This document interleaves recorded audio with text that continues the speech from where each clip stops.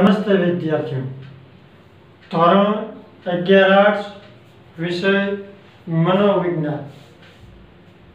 મનોવિજ્ઞાનના છેલ્લા લેક્ચરની અંદર આપણે ઓનલાઈન ભણ્યા હતા. ત્યાર પછી તમારી જે શાળાઓ શરૂ થઈ, ત્યાર પછી આપણે ઓફલાઈન શિક્ષણ ભણ્યા. ઓનલાઈનની અંદર મેં તમારો છઠ્ઠો પાઠ લીધો હતો. પછી ઓફલાઈનની અંદર જ્યારે શાળાઓ શરૂ થઈ ત્યારે તમારો સાતમો પાઠ જે છે ભાષા અને પ્રત્યયન એ આપણે ભણ્યા હતા. ત્યાર પછી આઠમો પાઠ આપણે તમારો બાકી રાખ્યો હતો. નેક્સ્ટ કરાવીશું મેં તમને કહ્યું હતું. ત્યાર પછી પ્રેરણાની આવી નવમો પાઠ જે હતો એ પણ આપણે ઓફલાઈનની અંદર શાળામાં, સ્કૂલમાં આપણે ભણ્યા હતા અને પૂરો કર્યો હતો. ત્યાર પછી આપણે તમારો જે જે તમારા ટેક્સ્ટબુકની અંદર જે દસમો પાઠ આપેલો છે ચેતનાની બદલાયેલી અવસ્થાઓ. આ પાઠ તમારા સિલેબસમાંથી સરકાર દ્વારા આ વખતે કાઢી નાખવામાં આવ્યો છે, રદ કરવામાં આવ્યો છે. એટલે એ પ્રમાણે આપણે જોવા જઈએ તો તમે પહેલાં એકથી છ પાઠ ભણ્યા હતા. સાતમો પાઠ અને નવમો પાઠ આપણે ઓફલાઈન શિક્ષણ દ્વારા સ્કૂલમાં ભણ્યા. તો એમાં બે પાઠ બાકી રહ્યા હતા, આપણે આઠમો અને દસમો. એની અંદર દસમો પાઠ જે છે એ આપણે તમારા કોર્સમાંથી આ વખતે બાદ કરેલો છે, બાકાત કરેલો છે. તો તમારા સિલેબસનો હવે છેલ્લો પાઠ જે બાકી હતો આપણો એ આઠમો પાઠ જે આપણે એને વિશે સમજૂતી મેળવવાની છે. તમારા મનોવિજ્ઞાનના આઠમા પાઠનું નામ છે વ્યક્તિત્વ પર્સનાલિટી આમ એટલું તો સારું કહેવાય. કારણ કે આ પાઠ જે છે, વ્યક્તિત્વ પાઠ, એ જૂના કોર્સની અંદર, પહેલાના કોર્સની અંદર બારમા ધોરણમાં આ પાઠનો સમાવેશ કરવામાં આવ્યો હતો. ત્યાર પછી કોર્સ બદલાણો બે હજાર પંદરની આસપાસ, ત્યાર પછી પંદરસોની આસપાસ, ત્યારે એ બારમા ધોરણમાંથી એ પાઠને દૂર કરીને અગિયારમા પાઠ, અગિયારમા ધોરણની અંદર આઠમા પાઠ તરીકે મૂકવામાં આવ્યો છે. તમારા પાઠનું નામ કે ટાઇટલ વ્યક્તિત્વ છે. આપણે બધા લોકો સામાન્ય રીતે આ શબ્દથી પરિચિત છે કારણ કે આપણે રોજબરોજની ભાષાઓમાં રૂટીન બોલચાલી ભાષામાં આ શબ્દનો ઉપયોગ કરતા હોય છે એનું વ્યક્તિત્વ વ્યક્તિત્વ, કે એનું વ્યક્તિત્વ તેમ કે આ છે, તે છે. મોટાભાગે આપણે લોકો એના ચારિત્ર કેરેક્ટર્સને આધારે એના વ્યક્તિત્વનો ઉલ્લેખ કરતા હોય છે. અને એનાથી પણ વધારે જો તમને કહું, તો તમે બધા આજકાલ જે વેસ્ટર્ન કલ્ચરનું કલ્ચરની ઇંગ્લિશ અંગ્રેજી ભાષાનો પ્રભાવ. એને કારણે એનો માટેનો જે અંગ્રેજી શબ્દ છે, એ આપણે બધા ખૂબ એનો ઉપયોગ કરતા હોઈએ છીએ, વારંવાર ઉપયોગ કરતા હોઈએ છીએ પર્સનાલિટી કોઈક સારો નીકળે તો હોય એની પર્સનાલિટી કેવી મસ્ત છે. આપણે બોલતા હોઈએ છીએ. તો આ પર્સનાલિટી વ્યક્તિત્વ, એના વિશે આપણે આ પાઠમાં, તમારા આઠમા પાઠમાં ભણવાનું છે. તો જોઈએ આપણે તમારી આઠમા પાઠની પ્રસ્તાવના. વ્યક્તિત્વ. મનોવિજ્ઞાનની અંદર માનવ વર્તનનો અભ્યાસ કરવામાં આવ્યો છે. અને માનવ વર્તનને આધારે જે તે માનવ હોય કે જે કાંઈ માણસ હોય, એના વ્યક્તિત્વનું આપણે નક્કી કરીએ છીએ કે વ્યક્તિત્વ આંકતા હોય છે, એના વર્તનને આધારે. નો ડાઉટ એ વસ્તુ અલગ છે કે એનું વ્યક્તિત્વ અને એનું વર્તન કદાચ બી અલગ અલગ હોઈ શકે. પણ મોટે ભાગે આપણે બધા એમના જે બાહ્ય વર્તનો હોય છે, બરાબર, એ બાહ્ય વર્તનને આધારે આપણે એનું વ્યક્તિત્વ આંકતા હોય છે વ્યક્તિત્વ માણસ માટે ખૂબ અગત્યનું બાબત છે. વ્યક્તિત્વની અંદર આપણે જ્યારે પણ આપણું વર્તન કરીએ છીએ ત્યારે આપણા વિચારો, માન્યતાઓ માનસિક લક્ષણો, શારીરિક લક્ષણો, આ બધાનો એક સંયુક્ત પ્રભાવ સમાજનો, સંસ્કૃતિનો, આ બધાનો પ્રભાવ આપણા ઉપર જોવા મળતો હોય છે. અને આપણે લોકો મોટે ભાગે હંમેશા સારું વ્યક્તિત્વ દેખાવાનો પ્રયત્ન કરતા હોય છે, અસરકારક વ્યક્તિત્વ બતાવવાનો પ્રયત્ન કરીએ છીએ. તો આ વ્યક્તિત્વ જે છે, કઈ રીતે ઘડાય, કઈ રીતે બને છે? એમાં કંઈક બાબતો જવાબદાર હોય છે. એ ઘણી બધી વસ્તુઓ તમારા પાઠમાં ભણવાનું છે. વ્યક્તિત્વ એમ કહેવાય ને, એક પ્યોર સાયકોલોજીકલ શબ્દ છે. અર્થ છે. કારણ કે કેટલીક વાર એવું બને કે આપણે જેના વિશે કંઈક માનતા હોય કંઈક અને નીકળે કંઈક, બરાબર? તો વ્યક્તિત્વ, અહીંયા પાઠને તમારે વ્યક્તિત્વના જુદા જુદા અભિગમો વ્યક્તિત્વના પાસાઓ અને ખાસ તો વ્યક્તિત્વ માપનની જે પદ્ધતિઓ કે રીતો છે, એ તમને આ પાઠમાં આપેલી છે. આપણી આજુબાજુ અસંખ્ય લોકો, માણસો જીવતા હોય છે આપણે બધાની વચ્ચે રહેતા હોય છે. આ બધા લોકોના વાણી, વર્તન, વ્યવહાર અલગ અલગ હોય, વિશિષ્ટ હોય. બરાબર? અને એને આધારે એનું વ્યક્તિત્વ પણ અલગ અલગ બનતું હોય છે. અને બીજી વસ્તુ કે આપણે કોઈ પણ વ્યક્તિને જોઈને એના વ્યક્તિત્વ વિશે કાંઈ પણ સમજણ કે કે પ્રાપ્ત નથી કરી શકતા કે કાંઈ કરી નથી શકતા. તો આપણને પ્રશ્ન એ થાય કે શું હા કેન નો? આપણે આપણે કઈ રીતે જાણશું વ્યક્તિને? વ્યક્તિત્વને કઈ રીતે જાણશું? તો એના માટે તમને આ વ્યક્તિત્વ માપનની પદ્ધતિઓ આપેલી છે. અથવા તો જે કાંઈ માણસ પાસે જે તે વ્યક્તિત્વ છે, એની પાછળના કેટલાક શારીરિક અભિગમો કે એ મનોજ્ઞાનિક અભિગમો કે એ જવાબદાર હોય છે. વ્યક્તિત્વને કેમ માપવું? બરાબર? એની કેટલીક પદ્ધતિઓ જે કહે છે, એ પણ તમને આ પાઠમાં આપેલી છે, જે આપણે ભણવાનું છે.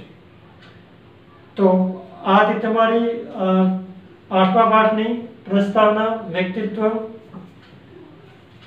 ત્યાર પછી તમારે જે મુદ્દો ભણવાનો છે, વ્યક્તિત્વનો અર્થ. આપણે બધાને ખૂબ રસ હોય છે બીજાના વ્યક્તિને જાણવાનો, જોવાનો, સમજવાનો. આપણે આપણું વ્યક્તિત્વ વિશે નથી જાણતા કે હું કોણ છું, હું શું કરું છું? બીજા કેવા છે, કોણ છે, શું કરે છે? બીજાના વ્યક્તિને જાણવું બહુ રસ ધરાવતા હોય છે. તો આપણે પ્રશ્ન થાય કે વ્યક્તિત્વ એટલે શું? ખાસ એક માર્કમાં અને બે માર્કમાં પ્રશ્ન પૂછાય, તો યાદ રાખજો, ધ્યાન રાખજો, સમજજો હું જે સમજાવું સમજજો. વ્યક્તિત્વના અર્થમાં જોવા જાય તો વ્યક્તિત્વ માટે અંગ્રેજી શબ્દ હમણાં તમને કહ્યું પર્સનાલિટી વપરાય છે. તમને એક માર્કમાં કે વિકલ્પમાં પ્રશ્ન પૂછે, વ્યક્તિત્વ માટેનો અંગ્રેજી શબ્દ કયો છે? તો કયો આવશે? તો કે પર્સનાલિટી ફરીથી ધ્યાન રાખજો. વ્યક્તિત્વ માટેનો અંગ્રેજી વર્ડ્સ કે શબ્દ એ કયો છે? તો કે પર્સનાલિટી અને અંગ્રેજી શબ્દ પર્સનાલિટી છે, એના પર્યાય તરીકે આપણે ગુજરાતી ભાષામાં જોવા જઈએ, બરાબર? તો ગુજરાતી ભાષામાં એનો મતલબ થાય છે વ્યક્તિત્વ. શબ્દ પ્રયોગ છે યાદ રાખજો વ્યક્તિત્વ માટેનો અંગ્રેજી શબ્દ કયો છે તો કે પર્સનાલિટી એની માટેનો પર્સનાલિટીનો આપણે ગુજરાતી ભાષામાં કન્વર્ટ કરીએ, ગુજરાતી ભાષામાં જોવા જઈએ તો એનો મતલબ થાય છે વ્યક્તિત્વ. આપણે શબ્દ વાપરીએ છીએ.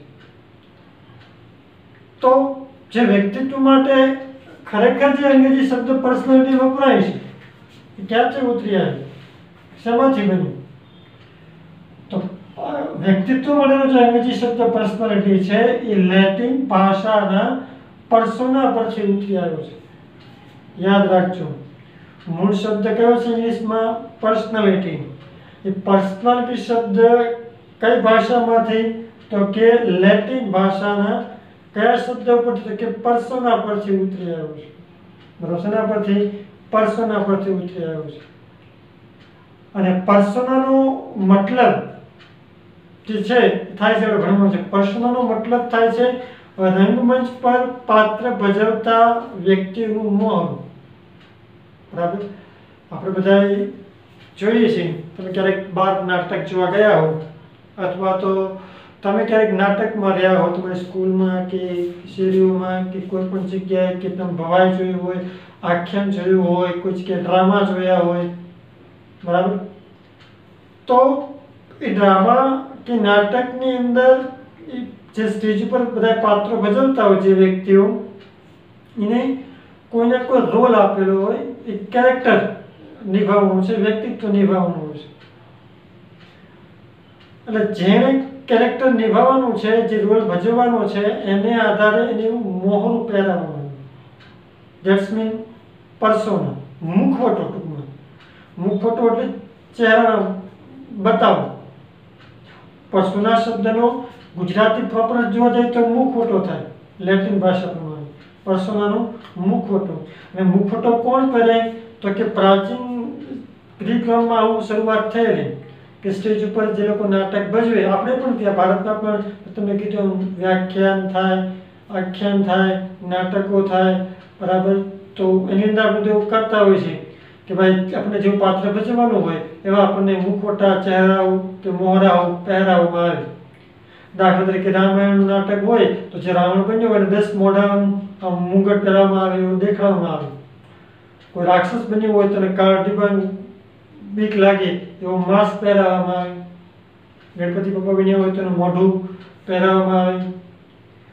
આ બધા મોહરા મુખટો પહેરાવવામાં આવે. જેથી આપણને એના વ્યક્તિત્વનો ખ્યાલ આવે કે આ કોણ છે. તમે તરત ઓળખી જાવ ઠીક ગણપતિ બાપા છે રાક્ષસ છે રાવણ છે, એના ચહેરાને આધારે કે જેથી કરીને આપણે એના વ્યક્તિત્વનો કે એના પાત્રનો વધારે સમજણ પડે. તો એના ઉપરથી જે છે મોહરું કે મુખોટો એવો શબ્દ ઉપયોગ કરવામાં આવે છે. જોઈએ આપણે ફરીથી લેટિન ભાષાના કયા પરથી ઉતરી આવશે પર્સોના પરથી ઉતરી આવ્યો છે. અને પરસોનાનો મતલબ શું થાય તો કે મેં કીધું મુખવટો માસ્ક બરાબર? જે રંગમંચ ઉપર પાત્ર ભજવતા પહેલા પહેલા પહેલું મોહન, ચહેરો, કે મુખવટો એને આપણે પરસોના તરીકે ઓળખીએ છીએ. તો આ તો તમારું પરસોના પર્સનાલિટી શબ્દનો એક સામાન્ય અર્થ. વ્યક્તિત્વ એક એવું પાસું છે, એક એક એવો ટોપિક છે કે એવો વિષય છે, બરાબર કે એક વ્યક્તિત્વ વિશે મનોવિજ્ઞાનમાં ઘણા બધા મનોવૈજ્ઞાનિકોએ જુદી જુદી વ્યાખ્યાઓ આપેલી છે. બરાબર? તો આપણે તમારે હવે જે ભણવાનું છે, એ વ્યક્તિત્વની વ્યાખ્યા આપણે પહેલાં પ્રસ્તાવના ભણ્યા, પછી એનો અર્થ ભણ્યા, અને હવે આપણે એની વ્યાખ્યા ભણવાની છે. મેં તમને કહ્યું કે ભાઈ, મનોવિજ્ઞાનની અંદર વ્યક્તિત્વ વિશે ઘણા બધા મનોવૈજ્ઞાનિકોએ વ્યાખ્યાઓ આપેલી છે.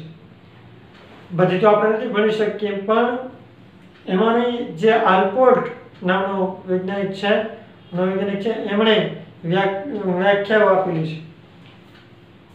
આલ્પોર્ટે જુદા જુદા સમય દરમિયાન મનોવિજ્ઞાનની જુદી જુદી વ્યાખ્યાઓ આપી. એમાંની બે વ્યાખ્યાઓ તમારા સિલેબસની અંદર આ વખતે મૂકેલી છે, આપેલી છે. તો જોઈએ આપણે આલ્પોર્ટને આપેલી બે વ્યાખ્યાઓ, મને પહેલી વ્યાખ્યા એણે ઓગણીસો ને સાડત્રીસની અંદર વ્યક્તિત્વને સમજાવવા માટેની આપેલી છે. તો જોઈ, વ્યક્તિત્વ એટલે શું? તો કે વ્યક્તિત્વ એટલે વ્યક્તિના મનોશારીરિક તંત્રનું એવું આર્ગાત્મક સંગઠન કે જેના આધારે વ્યક્તિ પોતાની આગવી રીતે સમાયોજન સાધી શકે છે. ફરી ધ્યાન રાખજો, વ્યક્તિ એટલે વ્યક્તિના એવું મનોશારીરિક તંત્રનું એવું આવેગાત્મક સંગઠન કે જેના આધારે વ્યક્તિ પોતાની આગવી રીતે સમાયોજન સાધી શકે છે. હજુ એકવાર વાંચું છું વ્યાખ્યા ધ્યાનથી સાંભળજો. વ્યક્તિત્વ એટલે વ્યક્તિના મનોશારીરિક તંત્રનું એવું આવેગાત્મક સંગઠન છે કે જેના આધારે વ્યક્તિ પોતાની આગવી રીતે સમાવેશ સાધી શકે છે. એટલે આમાં એવું કહેવા માંગે છે વ્યાખ્યાની અંદર કે વ્યક્તિત્વ એટલે વ્યક્તિનું કેવું કીધું? મનોશારીરિક, માનસિક અને શારીરિક આ બંનેનું મિશ્રણ પ્રોસેસ મનોશારીરિક સિસ્ટમ શરીરથી અને મન ત્યાં જોડાયેલું એક સિસ્ટમેટિકલ છે. બરાબર? અને એને આધારે ઇમોશન્સ દાખલા તરીકે અમુક લોકોનું વ્યક્તિત્વ એવું હોય કે ભાઈ એને તમે અપશબ્દ કહો હવે તરત તમે મારે ગાળ દે સામે મનો, માનસિક રીતે આપણે ગાળ દીધી આપણે મારી જ દેવાનું. માનસિક રીતે. અને તરત જે શરીરની એક્ટિવિટી એ પ્રવૃત્તિ કરી જ નાખે. એનું વ્યક્તિત્વ આક્રમક, ગુસ્સાવાળું, આપણે કહે છે તો મનોશારીરિક તંત્રનું એવું શું કીધું? આવેગાત્મક પાસું એવા ઇમોશન્સનું સંગઠન કે જેને આધારે વ્યક્તિ પોતાની આગવી રીતે શું કરે છે? સમાયોજન સાધ્યું જેવી એની મન, મનોશારીરિક સ્થિતિ છે જે મનોશારીરિક આવેગો આવે છે, એને આધારે એ વ્યક્તિ સમાયોજન સાધ્યું તમે જો કેટલાક લોકોને જે છે ને, બીજાનો વાક હોય તોય રડે અને પોતાનો વાક હોય તોય રડે. મનોશારીરિક, એના ઇમોશન્સ આવેગો. અને એની રીતે તમે જોવા જાવ તો એ સમાજન સારું રડી, રોઈ. ગાંધીજીનું, તમને ખબર છે ગાંધીજી અહિંસામાં માનતા, અહિંસાની વાત કરી. એમણે એવું કહ્યું તમને કોઈ એક લાફો મારે, તો તમારે સામે બીજો કાલ ધર્મ બરાબર? તો જો એ એનું સમાયોજન છે એનું વ્યક્તિત્વ છે. એનું મનોશારીરિક ઇમોશન્સ એવી રીતે રજૂ કરે છે. આપણે લોકો એક બાદ બીજી બે છોડી દઈએ એ આપણું મનુષ્ય એ આપણા ઇમોશન એ આપણું સમાયોજન. આપણા બાબત વ્યક્તિત્વ, આપણું વ્યક્તિત્વ. એટલે મ- વ્યક્તિત્વ કોને કહેવાય? તો કે વ્યક્તિત્વ એટલે વ્યક્તિના મનોશારીરિક તંત્રનું મગજ અને શારીરિક તંત્રનું એવું આવેગાત્મક સંગઠન કે જેને આધારે વ્યક્તિ પોતાની આગવી રીતે શું કરે છે તો કે સમાયોજન સાધી શકે છે. જે જે વ્યક્તિનું જેવું વ્યક્તિત્વ હોય, એ રીતે પોતે સમાજમાં આજુબાજુના વાતાવરણમાં સમાયોજન સાધે છે. અને પોતે પોતાનું જીવન જીવે અને જેવું, જે રીતે સમાયોજન સાધે, એ જ રીતે એનું વ્યક્તિત્વ જે છે એ અંકાતું હોય છે. બધાનું વ્યક્તિત્વ નક્કી કરતા હોય છે. તો આ હતી તમારી પહેલી વ્યાખ્યા. ત્યાર પછી બીજી વ્યાખ્યા આપણે જોવા જઈએ વ્યક્તિત્વની હાલકોટે આપેલી કે વ્યક્તિત્વ એટલે વ્યક્તિના લાક્ષણિક, બરાબર? શું કીધું એણે? વિચારો અને વર્તન ત્યારે હોવું. આની જેવી જ વ્યાખ્યા છે, ખાલી થોડુંક એનાલિસિસ અલગ રીતે કર્યું છે. વ્યક્તિત્વ એટલે વ્યક્તિની એવી લાક્ષણિક વિચાર અને વર્તન તરેહોની ઘડનારી તેની મનોશારીરિક વ્યવસ્થા. જો આ લખ્યું છે, મનોશારીરિક તંત્ર. મનોશારીરિક વ્યવસ્થાઓનું ગતિશીલ સંયોજન એટલે કે વ્યક્તિત્વ. આને મનોસહાયક તંત્ર લખ્યું જ્યારે શું લખ્યું એને લાક્ષણિક વિચારો અને વર્તનો. બરાબર? આ ઉપરાંત એને ઘડનારી કઈ કીધી? મનો શારીરિક વ્યવસ્થાઓ, માનસિક અને શારીરિક સિસ્ટમ વ્યવસ્થા એટલે કે વ્યક્તિત્વ. એટલે એ રીતે જોવા જાય તો બે વ્યાખ્યામાં ખાલી થોડા ઘણા છે, શબ્દોનો જ તફાવત છે એવું હું મારી દ્રષ્ટિએ હું કહું તો એમ કહી શકાય. ફરી ધ્યાન રાખજો. વ્યક્તિત્વ એટલે કોઈ પણ વ્યક્તિના પોતાના શું હોય છે, લાક્ષણિક વિચાર. દરેક વ્યક્તિના પોતપોતાના કોઈ પણ પરિસ્થિતિ, પદાર્થ, વ્યક્તિ વસ્તુ પ્રત્યેના વિચારો હોય. બરાબર? અને એ વિચારને આધારે આપણી વર્તન તરેહો ઘડાય આપણી વર્તનની ભાતો નક્કી થાય. આપણું વર્તન નક્કી થાય. અને એવી આપણી મનોશારીરિક ઘડાયેલી વ્યવસ્થા, બરાબર? એટલે આપણું વ્યક્તિત્વ, બરાબર?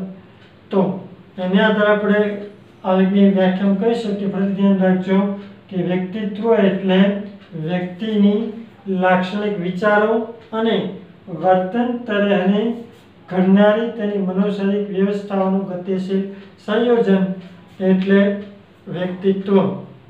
તો અહીંયા તમને જે આલ્પોર્ટની વ્યાખ્યા આપેલી છે, વ્યક્તિત્વની, એ પૂરી થાય છે. વિદ્યાર્થીઓ, આપણે વ્યક્તિત્વની વ્યાખ્યા વિશે સમજૂતી મેળવી. ત્યાર પછી તમારા, આ પાઠની અંદર આગળનો જે મુદ્દો જે છે ભણવાનો એ છે તમારા વ્યક્તિત્વના વિવિધ અભિગમ.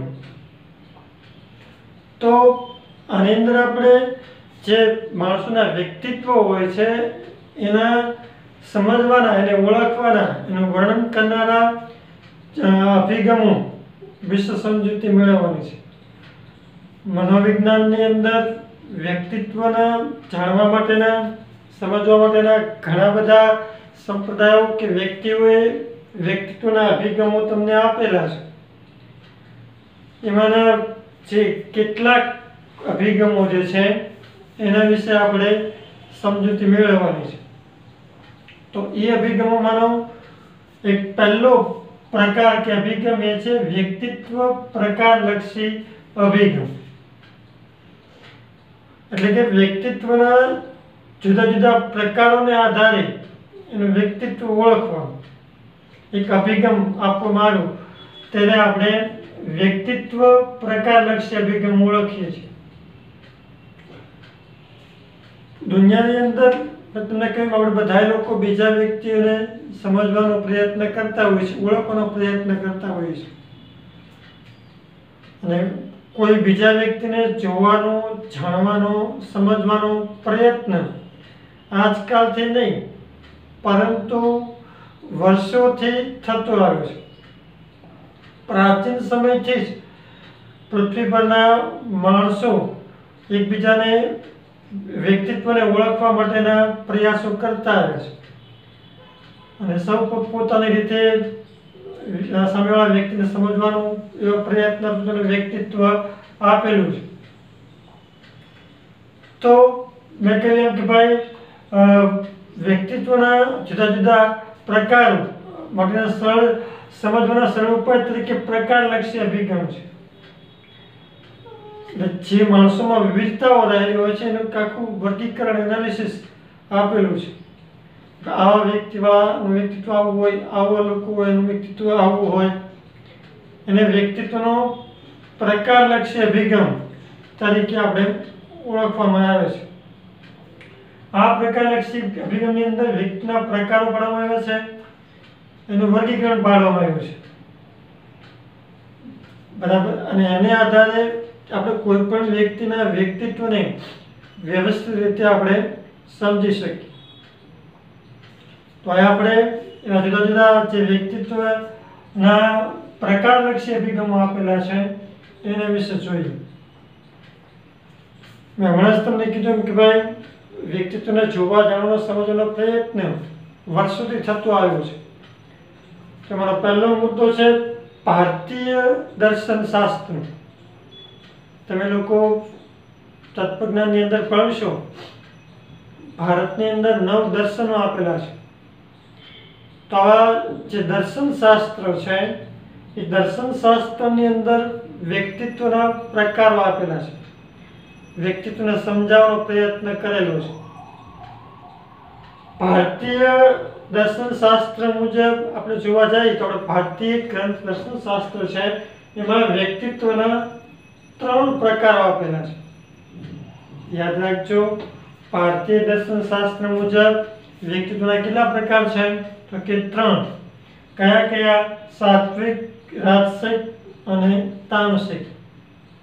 સાત્વિક રાજસિક અને તામસિક આ બધા પ્રકારના અભિગમો વિકલ્પમાં અને એક માર્ક માટે મહત્વના પ્રશ્ન છે. આ આખો પ્રશ્ન પણ ત્રણ માર્ક્સની અંદર કે ચાર માર્ક્સમાં પૂછાઈ શકે છે. એટલે ફરીથી જોજો તમે, દર્શનશાસ્ત્ર, ભારતીય દર્શનશાસ્ત્રની અંદર વ્યક્તિના કેટલા પ્રકાર પડ્યા છે? તો કે ત્રણ. કયા કયા? તો કે સાત્વિક, રાજસિક અને તામસિક આ ત્રણ પ્રકારો ભારતીય દર્શન શાસ્ત્ર છે. એની આધારે પાડવામાં આવ્યા છે. ત્યાર પછી આપણે ભારતીય ચરક સંહિતા, ભારતીય ચિકિત્સા ગ્રંથ, ચરક સંહિતા, જે મહર્ષિ ચરકે રચાયું છે. તમે દસમા ધોરણની અંદર સામાજિક વિજ્ઞાનમાં જે પાઠ ભણ્યા, પાંચમો પાઠ, ચરક સુશ્રુત સંહિતા બરાબર? તો એનું એક, એટલે કે ભારતીય ચિકિત્સા ગ્રંથ, કયો ગ્રંથ છે? ચરક સંહિતા. જેના રચયિતા મહર્ષિ ચરક છે. તો એનું જે ચરક સંહિતા છે, એની અંદર માણસના શારીરિક દોષને આધારે એમણે વ્યક્તિત્વના ત્રણ પ્રકારો પાડેલા છે. બરાબર? ધ્યાન રાખજો. ભારતીય ચિકિત્સા ગ્રંથ ચરક સંહિતાને આધારે પ્રકાર ગણવામાં આવે છે. એને પ્રકાર શેના આધારે પડ્યા છે? તો કે શારીરિક દોષને આધારે. શારીરિક દોષને આધારે કેટલા પડ્યા છે? તો કે ત્રણ. વાત પ્રકૃતિવાળા પિત્ત પ્રકૃતિવાળા અને કફ પ્રકૃતિવાળા. વાત, કફ અને પિત્ત હવે એમાં કેવા લક્ષણો એનું વર્ણન કરવું છે? એનું વર્તન કેવું હોય? તો કે જે વ્યક્તિની અંદર વાત પ્રકૃતિવાળા છે. લોકો કેવા હોય છે? ચંચળ અને સક્રિય. એની અંદર કેવો દોષ હોય છે? શારીરિક દોષ. વાર તો આવા લોકો ચંચળ અને કેવા હોય છે? સક્રિય. અથવા તો જે લોકો ચંચળ અને સક્રિય હોય છે, એનામાં વાત પ્રકૃતિ વાત તરીકે ઓળખીએ છે. અને ફરીથી જોજો, પહેલો પ્રકાર કયો? વાત એમાં એ લોકો કેવા હોય તો કે ચંચળ અને સક્રિય. એક્ટિવેટ વધારે લોકો હોય એ લોકો. બીજું પિત્ત પ્રકૃતિવાળો. પિત્ત દોષવાળા. તો પિત્ત દોષવાળા લોકો જે છે, એ ઉગ્ર હોય. તાત્કાલિક ગુસ્સામાં આવી જાય, આવેશમાં આવી જાય, ત્યારે આપણે કહીએ ને, એવા ઉગ્ર લોકો વધારે હોય છે. પહેલું જોજો પેલું કેવું કીધું? વાતવાળા ચંચળ અને સક્રિય. બીજું પિત્તવાળા કેવા ઉગ્ર. કફ કફ દોષવા, તો કે ઠંડા અને કેવા હોય છે સુસ્ત હોય. એમ ઝડપથી ને હોય એમ એક્ટિવેટ એવા બહુ ન હોય. પોતાની રીતે નિરાતે કોઈ પણ કાર્ય કરનારા હોય. તમે પણ તમારી આજુબાજુમાં ઓળખીતા પાળખીતા તમારા ફ્રેન્ડ સર્કલમાં તમે જોજો, આવા લક્ષણોમાં તમને માણસો જોવા મળશે. એની પાછળનું કારણ એના શારીરિક દોષો, આ બધા જે છે, એનો પ્રભાવ. એને કારણે વ્યક્તિત્વ એવું હોય છે. એવું ચરક સંહિતામાં કહેવામાં આવ્યું છે. અમે ભારતીય ગ્રંથોને આધારે હતા. દર્શન અને ચિકિત્સા ગ્રંથ ચરક સંહિતાને આધારે. ત્યાર પછી પશ્ચિમી સંસ્કૃતિ પ્રમાણે જોવા જાય તો ગ્રીક વેદ, ગ્રીકના વેદ હિપોક્રિટ્સ. હિપોક્રિટ્સે શરીરના રસ સ્ત્રાવોના પ્રભાવને આધારે માણસના શરીરની અંદર જે જુદા જુદા રસસ્ત્રાવ ઝરે છે, વહે છે, એને આધારે, પ્રભાવને આધારે ચાર પ્રકારના વ્યક્તિત્વવાળા લોકો કહે ફરીથી ગ્રીક વેદ હિપોક્રિટ્સ આધારે? શરીરના રસસ્ત્રાવને આધારે ચાર પ્રકાર. કયા કયા? તો કે રક્ત પ્રભાવી, બરાબર કફ પ્રભાવી, કાળા અને પીળા. બરાબર? એમાંનું જે રક્ત પ્રભાવે છે, એ લોકો કેવા હોય છે તો કે સક્રિય અને આનંદિત હોય છે. એક્ટિવિટી અને હેપીનેસ વાળા. કફ વાળા, મેં હમણાં તમને કીધું એમ, નિષ્ક્રિય, સુસ્ત હોય. કાળા વાળા, ઉદાસ બરાબર? ત્યાર પછી પીળાવાળા ઉત્તેજનશીલ અને ક્રોધિત કીધું ઉગ્ર પ્રકાર એવા. તો ગ્રીક વેદ હિપોક્રેટિસ શરીરના રસત્રાવના પ્રભાવને આધારે. ચાર પ્રકાર પાડે છે. રક્ત પ્રભાવીવાળા, સક્રિય આનંદિત, કફવાળા, સુસ્ત, કાળાવાળા, ઉદાસ અને પીળાવાળા, ઉત્તેજનશીલ અને કેવા હોય છે? ક્રોધિત હોય છે. ત્યાર પછી કિશ્મરને શરીરને શરીરના બાંધાને આધારે વર્ગીકરણ આપ્યું છે. સૌથી પહેલાં દર્શનશાસ્ત્ર, ભારતીય ચરક સંહિતા ગ્રીક વેદ હેપોક્રેટિસ, ત્યાર પછી કેશમેન અને શેલ્ડન એને જે માણસના શરીરના બાંધા હોય બોડી હોય, આખું સ્ટ્રક્ચર એને આધારે વ્યક્તિત્વનો પ્રકાર પાડ્યા છે. કૃષ્ણ અને શેલ્ડને વ્યક્તિત્વના ત્રણ પ્રકાર પાડ્યા છે. અંતસ્ત્ર પ્રધાન મધ્યસ્થ પ્રધાન અને બાહ્ય સ્તર પ્રધાન. એમનું પહેલું, અંતસ્ત્ર પ્રધાન વાળા કેવા હોય? તો કે જાડા અને ઠીંગણા. સ્વાભાવિક છે જે લોકો ઠીંગણા હશે એ શરીરમાં કેવા મોટે ભાગે જાડા હોય છે. તો જે લોકો જાડા હોય અને ઠીંગણા હોય, એવા વ્યક્તિઓને આપણે આંતરસ્તર પ્રધાનવાળા વ્યક્તિ કહી શકીએ. આનું શારીરિક વર્ણન. એનું વ્યક્તિત્વ કેવું હોય તો કે આનંદી મિલનસાર રમૂજ, હળવાશવાળું અને ખાવા પીવાના શોખીન હોય. એટલે જાડા લખ્યું છે. બરાબર શરીર હેલ્ધી હોય. કારણ કે ખાવાના શોખીન હોવાને કારણે ખાવાનું પ્રમાણ એનું વધારે હોય. આંતરસ્તરવાળા જાડા ઠીંગણા બરાબર વ્યક્તિત્વનું કેવું તો કે આનંદી, મિલનસાર રમૂજ અને હળવાશ અને ખાવાના શોખીન હોય. છે ત્યાર પછી મધ્યસ્તરવાળા બહુ જાડા લીંબુ પાતળા ને મધ્યસ્તરવાળા. સ્નાયુબદ્ધ હોય છે. બહુ જાડા પણ નથી હોતા અને બહુ પાતળા પણ નહીં આમ કહેવાય ને, ખડતર જેને આપણે કહી શકીએ. સ્નાયુબદ્ધ હોય. આવા લોકો સક્રિય, હિંમતવાન અને નેતૃત્વ લેનારા હોય છે. લીડરશિપ એમને ગમતી હોય. પ્રવૃત્તિમય વધારે રહેતા હોય. અને જોખમી કાર્ય કરવા સક્ષમ હોય છે. અથવા તો એ જોખમી કાર્ય કરે છે. ત્યારે જાડા લોકો બહુ જોખમી કાર્ય કરી શકે નહીં. ત્યાર પછી બાહ્ય સ્તર. બાહ્ય સ્તરવાળા લોકો જે છે મોટેભાગે ઊંચા અને કેવા હોય છે? તો કે પાતળા હોય છે. અને આવા લોકો કલાપ્રેમી, અંતર્મુખી અને મગજના કાર્ય કરનારા હોય છે. જેથી કળાઓ, ચિત્ર, સંગીતને નૃત્ય કલા બધી કળાઓને બહુ ગમતી હોય. અને પોતે એ કળાઓનો ઉપયોગ પણ કરે, શીખે પણ. અંતર્મુખી હોય.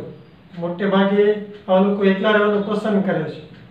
અને મગજના કાર્યો મગજના કાર્યો એટલે જેમાં બ્રેનને જરૂર પડતી હોય એવા કાર્ય વધારે પસંદ કરે. તો આ તમારા કેશમન અને શેલ્ડનને આધારે આંતરસ્તર મધ્ય સ્તર અને બાહ્ય સ્તર. એવા ત્રણ પ્રકાર પાડવામાં આવ્યા હતા. એ. ત્યાર પછી જે છે એ કાર્લ યુંગ અને યુગના પ્રવૃત્તિને આધારે કાર્લ યુંગે પ્રવૃત્તિને આધારે વ્યક્તિત્વના બે પ્રકાર પાડ્યા છે. બરાબર? એક અંતર્મુખી અને બહિર્મુખી.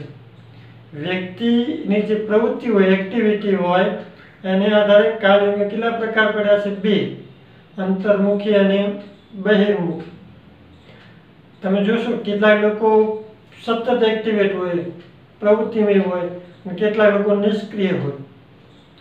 તો એને આધારે અમે પ્રવૃત્તિની દિશાને આધારે બે પ્રકાર પડ્યા છે, અંતર્મુખી અને બહિર્મુખી.